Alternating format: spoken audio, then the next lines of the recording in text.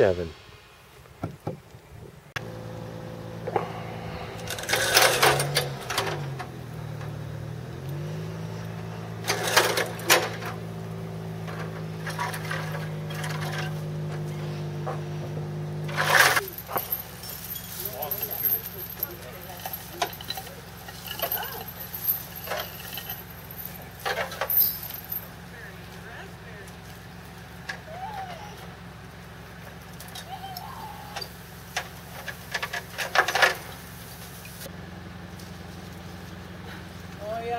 Go in the house. You have to pull it up. Uh, get on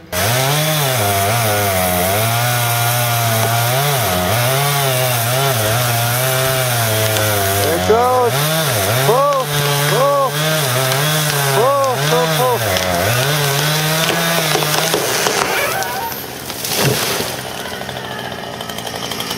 Didn't even hit the light post.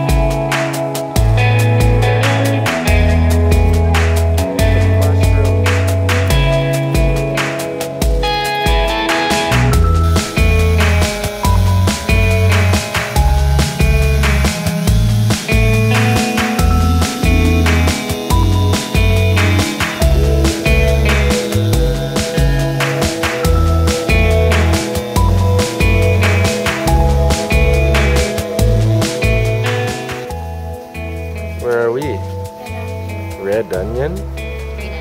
Green onion? Red onion. Red onion? We're gonna get ice cream? Red onion. We're at the red onion. Got three shakes and some fries. Sounds good.